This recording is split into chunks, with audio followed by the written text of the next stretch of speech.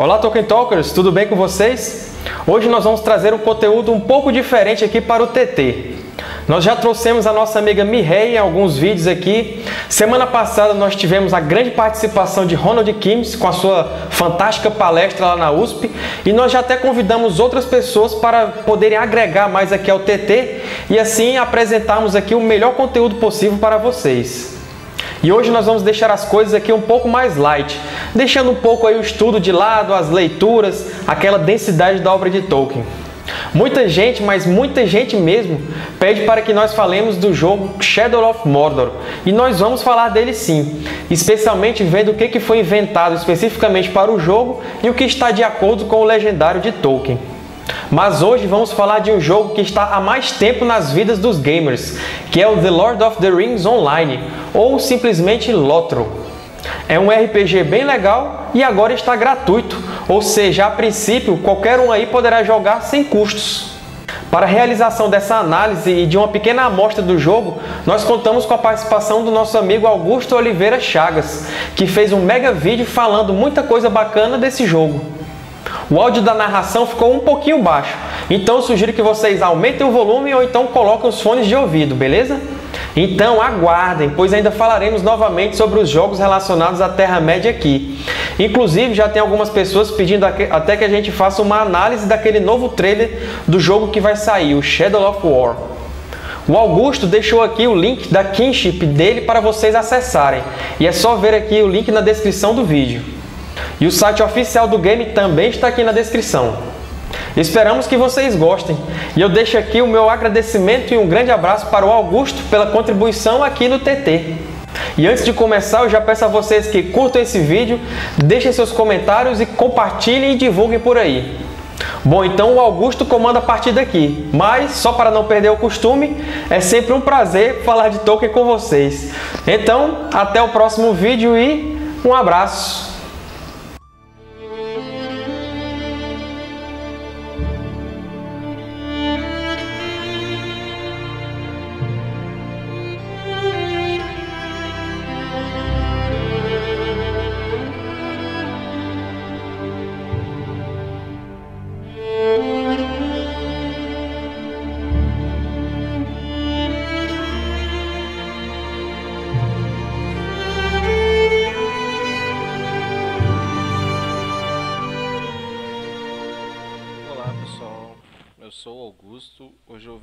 Fazer uma participação especial no canal Tolkien Talk.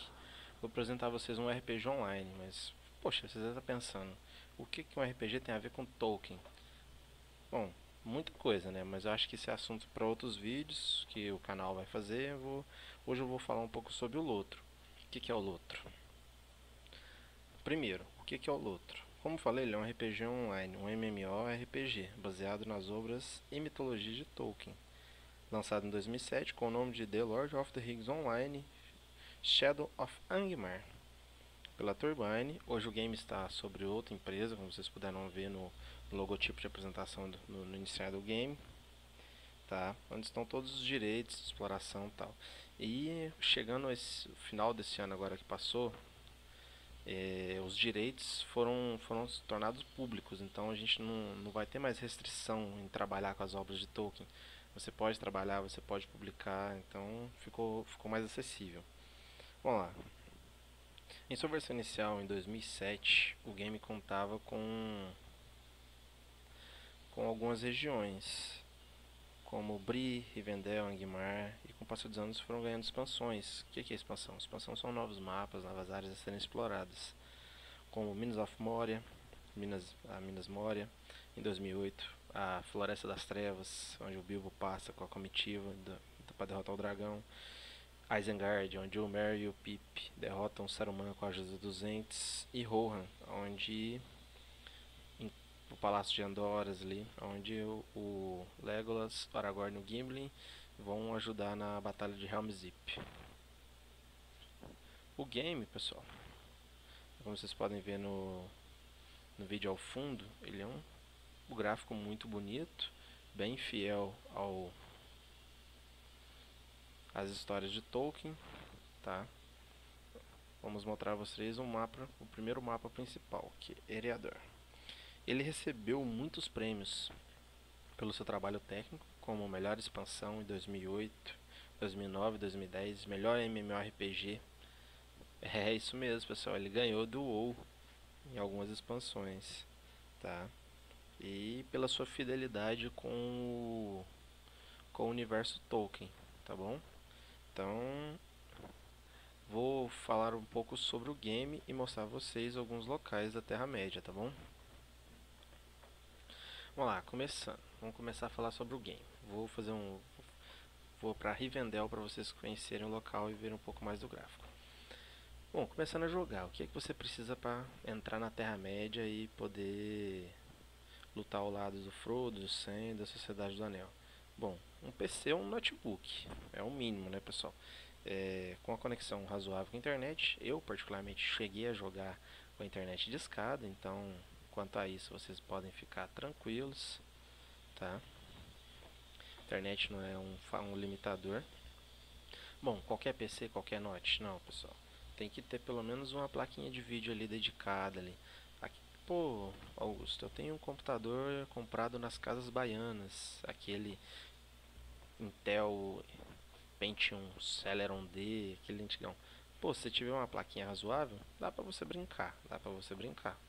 Não dá pra você fazer as partes finais do game, conhecer lá é, hum, Mist Montes, dá pra você ir.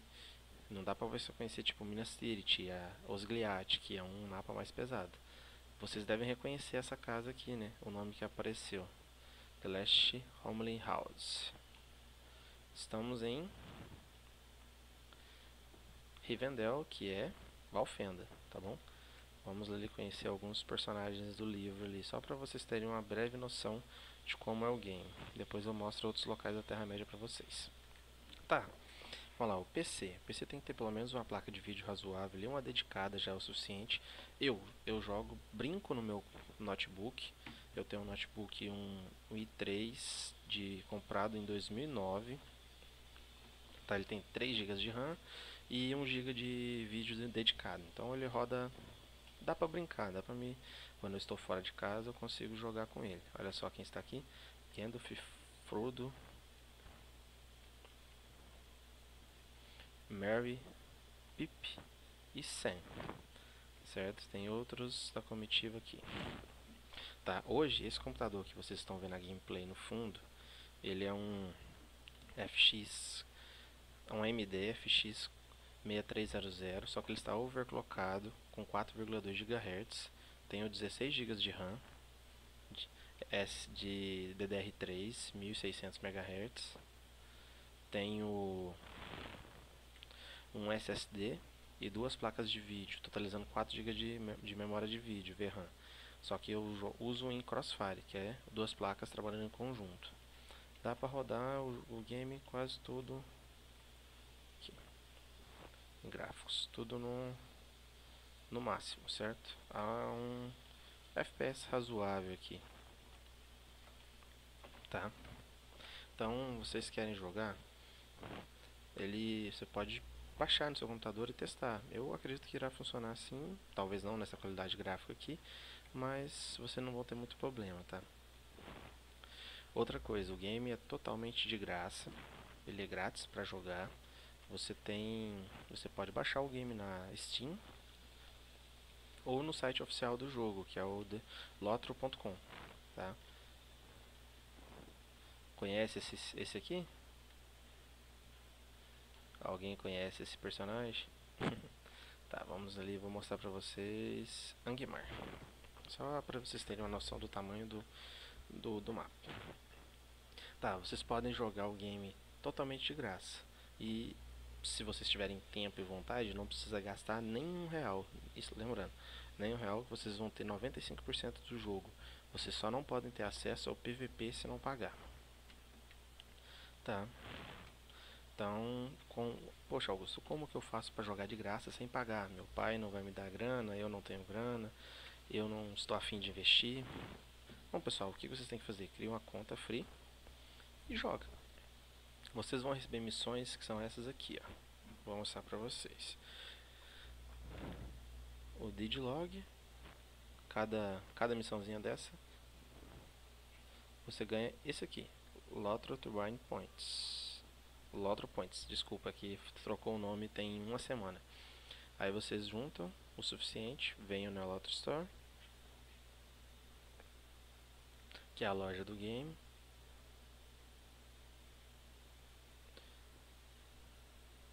E a conte expansões e compra. Por exemplo, expansão de Isengard custa 2.495 Lotro Points. É complicado, é, mas dá pra fazer. Não é difícil você conseguir esse valor. Se vocês tiverem vontade de jogar, quiserem jogar, pode me procurar que eu ensino o caminho das pedras. Vocês conseguem farmar por dia, média de 300, 250 TPs, 300 TPs por dia em 2 horas e meia, 3 horas de jogo. Tá? Muito fácil. Então, dá pra você comprar todo o conteúdo em game sem gastar nenhum real, tá bom? só fazendo deeds e farmando TP, certo? Mas tem algumas restrições para quem é free que eu vou fazer outros vídeos, é só uma apresentação básica para vocês conhecerem o game. Se vocês quiserem saber mais sobre o game, eu vou deixar meu canal, vou fazer um vou fazer um canal do, da minha Kinship, que é meu clã, que é meu grupo de jogo que chama Os Filhos de Ronin com informações básicas, é, tutoriais de como farmar, é, explicação um pouco mais detalhada sobre cada classe, tá? E como e quais servidores, como vocês devem jogar. A classe do game eu vou mostrar para vocês aqui. Deixa eu só, vamos lá, vamos para o conteúdo final do game, só para vocês terem um conhecimento.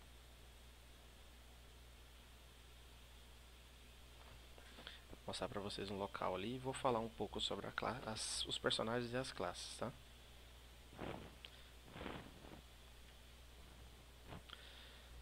Estou levando vocês para Itlien, o norte, depois de Gondor, as margens ali da, da, da Montanha da Perdição, depois do rio que, de, que passa em Osgiliath, que é atualmente o mapa mais novo lançado do jogo. Esse local aqui vocês devem conhecer que essa, essa cachoeira, essa caverna aqui vocês devem ter uma quem é fã deve saber, ter uma breve noção de onde que é.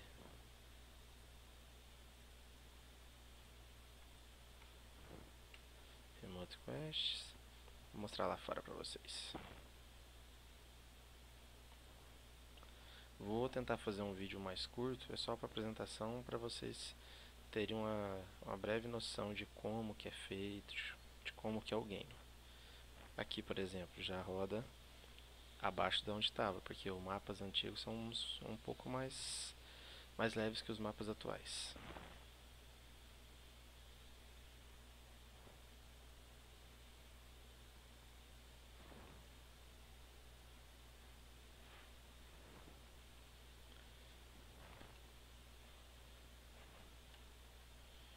o mapa. Norte Itlane. Aqui, Minas Tirith, eu posso ir lá, depois eu levo vocês em um outro vídeo. O mapa de... ó, já tem um Warband. Que isso, isso é novidade, viu pessoal? Aqui ainda não foi lançado nenhuma dessa parte. Tá. O mapa de Eredor, como eu mostrei pra vocês. Gondor, Rovanion, o sul de Mirkwood, Lothlórien, Moria, Isengard, Frangorn, Westruun, Great Rivers, aonde está? Ah, tá pra cá. Conhece essas duas aqui? Esse lago e essas duas estátuas? Pois é, dá pra conhecer lá. Deixa eu mostrar pra vocês um último local e já vou levar vocês a as classes só para vocês ficarem conhecerem um pouco o básico do game, tá bom? Só um minuto. Vamos lá, eu vou pôr um videozinho de cada personagem, um videozinho explicativo do jogo, tá? Bem simples, bem direto. De cada classe para vocês terem uma breve noção de como que se luta, de como é feito.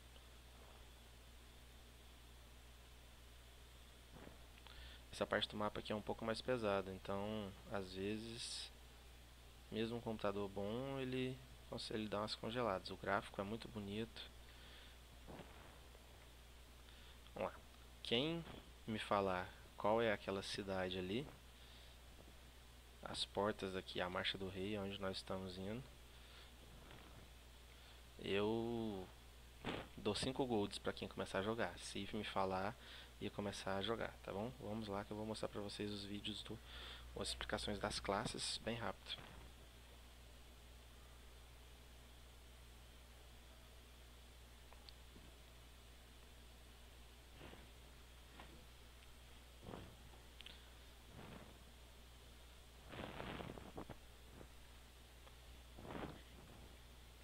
O Browning. Não, vou, vou começar de acordo com o meu roteiro aqui para poder porque está para poder ficar um vídeo mais claro. O burglar. The burglar is a master of stealth and misdirection. She is able to confound her foes with a variety of clever and debilitating tricks. She also excels at attacking from the shadows, allowing her to take her enemies by surprise. O Burglar, ele é o especialista em debuffs, tá? Ele é ele é o que tira status do do inimigo. Ele é inspirado no Bilbo Bolseiro, o capitão. Vamos lá. The captain is a masterful leader, a commanding presence who strengthens her allies, but she is also skilled in the use of arms. Her battle cries strike fear into the hearts of her enemies, while her allies rally to her banners of war. Tá, o capitão, ele é um guerreiro capaz de usar buffs, ele inspira o grupo, então ele aumenta o ataque, ele aumenta a defesa, ele pode curar um pouco, ele é inspirado em Eanur. Vamos ao Champion. The champion is the consummate warrior, unrelenting in battle. His fervor allows him to make increasingly powerful attacks, dealing great damage quickly and efficiently. Champion, ele luta com duas espadas ou com a espada de duas mãos. Ele bate muito. Ele é o guerreiro de espadas, de contato. Ele é o melee. Ele é um dos DPS mais fortes do game, tá bom? Ele é inspirado em, adivinha quem? Uma moeda de ouro para quem adivinhar. É isso aí, pessoal. Em Gimli, o anão da comitiva. Tá. Gimli, filho de Glóin. Vamos lá, o guardião. The Guardian is a protector of the weak and defender of those in need. He is capable of withstanding mighty blows and retaliating in kind. The true Guardian stands to the forefront of battle, shielding his allies from the blows of their enemies. Guardião, ele é o tanque do game. Ele é o que? Ele segura a porrada. Ele toma menos porrada, ele segura o bicho, pra eles, o, os mobs, para eles não matarem os outros personagens da, dos outros, as outras pessoas do grupo, né? Então, ele é inspirado em quem? Em Sam. Isso aí, pessoal, ele é inspirado no Sun. Vamos ao Hunter. The hunter is a master of field and forest, unmatched with the bow. She uses her survival skills to guide her companions and lay traps for her enemies. The hunter is at her strongest when attacking from a distance, but is able to defend herself in melee at need. Hunter ele é o arqueiro do game. Ele é inspirado no Legolas, certo? Nada mais justo, né? Vamos lá, Lore Master. Lore Master é o mago do. The Lore Master is a seeker of knowledge and a guardian of wisdom. He wields ancient secrets and lore to confound his foes and aid his friends, protecting them against the dark powers of the enemy. Ele é o mago do game, ele controla as, os elementos da natureza, pode summonar alguns bets para ajudar ele em batalha, e ele foi inspirado nada menos do que Elrond, the Minstrel. The minstrel is the heart of a fellowship, a herald of hope and renewal. He uses his knowledge of ancient songs and lore to ward against the forces of darkness and bring relief to his companions. Ele é o curandeiro, ele canta canções, ele é um bardo para poder curar através da sua música ou a, a vida é renovada. Então ele, ele faz esse papel de healer do grupo. E ele é inspirado no, aliás, na Lutien, certo? Muito interessante a inspiração. Rony Keep. The Rune Keeper is a master of the powers of ancient runes. The magical qualities of these secret words can be used to turn the elements against his foes or inspire his allies to continue the fight against the forces of the enemy. Keep, ele usa o, a magia das runas e das línguas para poder invocar poderes em vez de dano mágico como choque e fogo, né? Ou eletricidade e fogo. Ele é uma classe inspirada em Lothlórien, tanto é que ele só veio aparecer no game depois da expansão de Moria. Ele veio por causa de uma homenagem a Lothlórien. Ele foi inspirado em Haldir, Haldir de Lórien, e seus irmãos Romir e Orofir. Ele necessita da expansão de Minos of Moria para você poder jogar com ele. The Warden is a master of the spear and javelin, sworn to protect those that cannot protect themselves. At home, in the thick of melee, the Warden weaves powerful combinations of attacks to fell her foes and strengthen her own resolve against the Dark Lord. Warden, ele é um guerreiro que usa armadura média. Eu costumo brincar que ele é um, um espartano, um 300. Tanto é que ele saiu, ele saiu junto com a expansão de Minas of Moria. Ele é inspirado nos guerreiros de Lórien também, tá? Mas ele, eu costumo comparar ele a, a um espartano pelo, pelo modo de jogo. E a gente tem uma classe nova que é o Browning, que se alguém adivinhar em quem que ele é inspirado. Men and women of Beorn's line possess the power to take the shape of mighty and fearsome bears. As their wrath increases, so too do the strength and capabilities of their animal forms. The Beorning can harness this ability to deal damage, resist the onslaught of enemies, or support a fellowship of adventurers. Ele é inspirado no Breon, né? Ele é um transmorfo troca, ou troca-pele que se transforma no poderoso urso. Você pode ser um urso branco, um urso pardo, urso negro, conforme você troca as suas skins lá, as suas equipes, tá bom? Muito interessante a classe. Pá, algumas classes só são jogáveis apenas com algumas determinadas raças, tá? O Hobbit só pode ser Guardião, Minstrel, Burglar, Warden e Hunter. O Elfo pode ser Guardião, Lore Master, Minstrel, Runekeep, Warden, Champ Hunter. O humano pode ser todas as classes, exceto o Runekeep. E o único que pode ser Capitão. O Anão pode ser Guardian, Minstrel, Runekeep, Champion e Hunter. Podemos ter também algumas profissões no game, tá?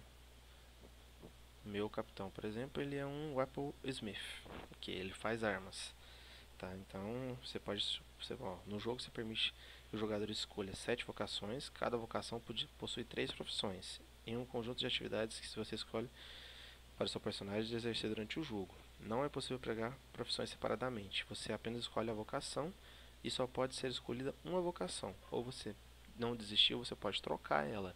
Você não gostou de ser cozinheiro, que é farmer, você não gosta de plantar, você quer ser o Apple. Lá depois do level 3 da vocação, você zera toda ela e começa do zero. O cook, que é o cozinheiro, produzir comidas, o fazendeiro, o forest que trabalha a madeira, o joalher que trabalha faz joias, o metal smith que é o ferreiro, o prospector que é o minerador, o tailor que é o alfaiate, trabalha couro, trabalha peles, o apple smith que é o meu personagem, que eu sou nível máximo. Sou Prospector e o Apple Smith, que eu faço armas de level 10 até armas de level 100. Tá, pessoal? Cada profissão é, precisa de algo para ajudar a outra. Por exemplo, eu preciso de, de metais, ingotes, que o Prospector faz. Se eu não tivesse o Prospector, eu, deveria, eu tinha que comprar alguém que tenha essa, essa, essa profissão. Bom, cenário. Vou falar um pouco sobre o cenário para vocês. Vamos dar uma voltinha na minha casa para vocês terem uma noção. Aqui estão todos os itens que eu ganhei jogando durante meus oito anos. Os mapas, você colocar a cabeça da tartaruga, cabeça de orcs, a cabeça de alguns orcs aqui colocados no jarro, certo? mostrar para vocês o minha meu maior meu maior legado, o que eu tenho mais orgulho de ter, só que não está na minha casa, está na casa da minha família, né, da Kinship.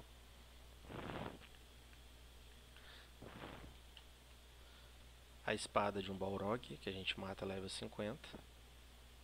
Vou mostrar pra vocês aqui.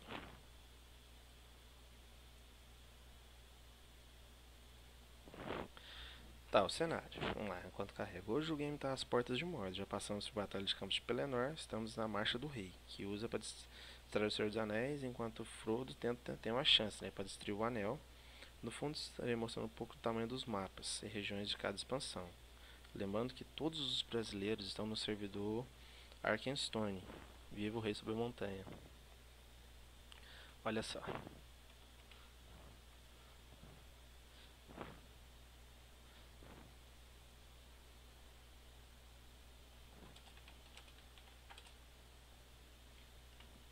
Estou gravando ao vivo, então às vezes alguém fala comigo ali, tá pessoal? Olha só. É o Dragosh, que veio em homenagem a Smaug. Tá? Ele é um parente distante, um dragão. Ele não consta na, nos livros nem na mitologia, mas é uma, uma senhora adaptação. Tanto é que o Tolkien não deixou claro quantos dragões sobreviveram a as eras, né? Smaug foi um e não há informações sobre outros. Então deixam aberto que foi muito bem aproveitado. É uma instância muito boa de fazer. As referências estão em todos os lugares, olha só. Essa referência aqui é sobre quem?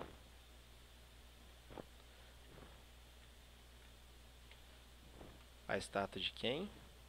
Uma pequena homenagem. E esse espelho Lembra vocês de alguma coisa?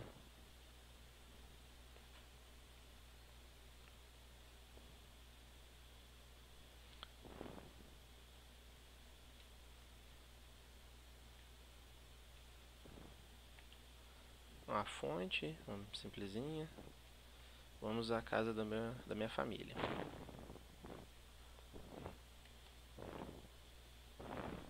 Essa pintura é de onde? Alguém conhece esse local?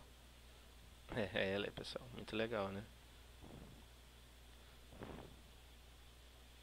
O modelo de onde? Um item de casa.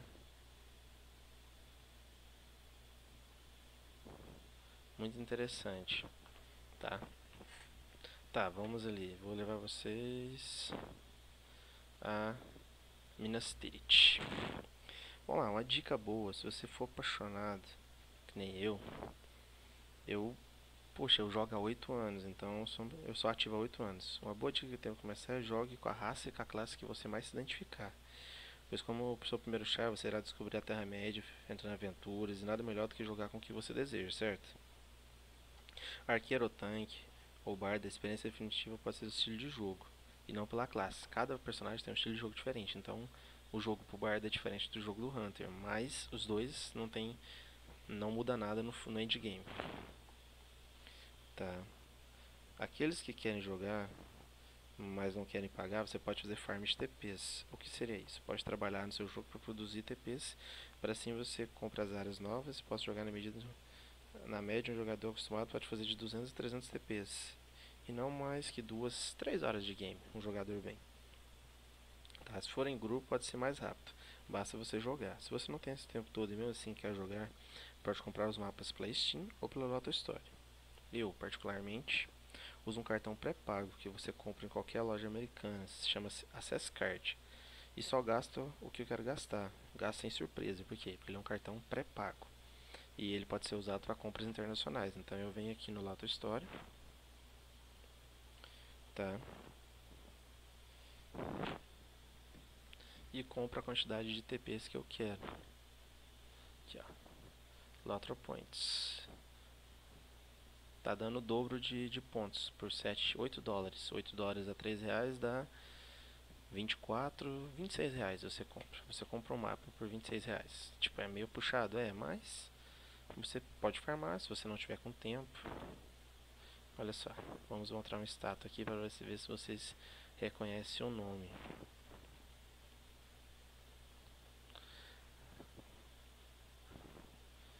Estátua de Rorim I, filho de Belengorn.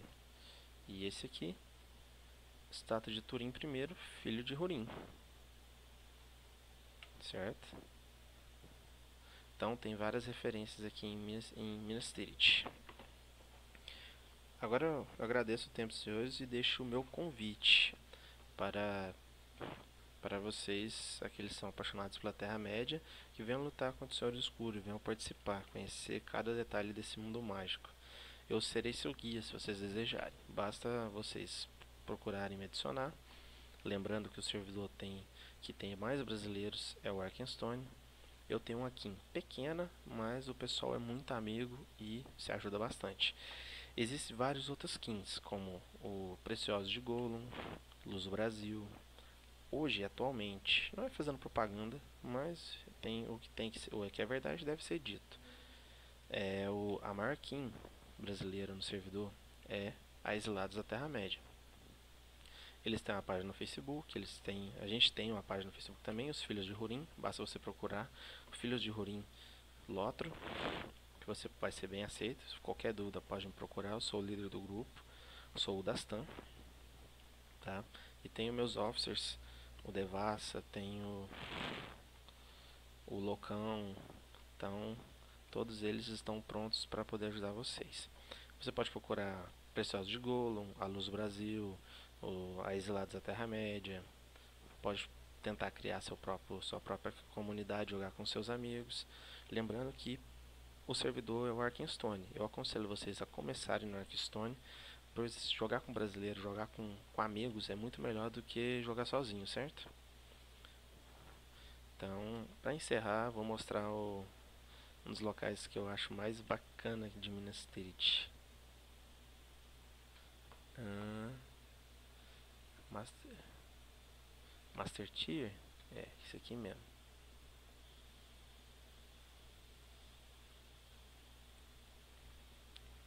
Que é a árvore branca. Os detalhes são, ó.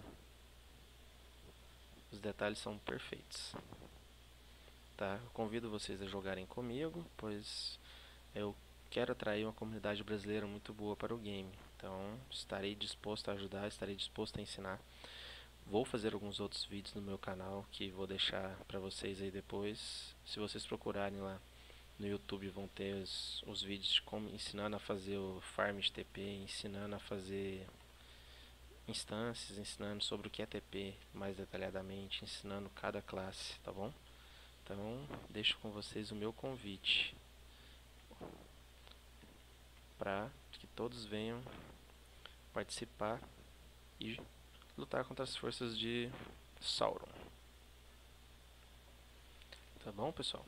Muito obrigado. Desejo vocês tudo de melhor, tudo de bom e que a chama de Elendil nunca se apague no coração de vocês, tá?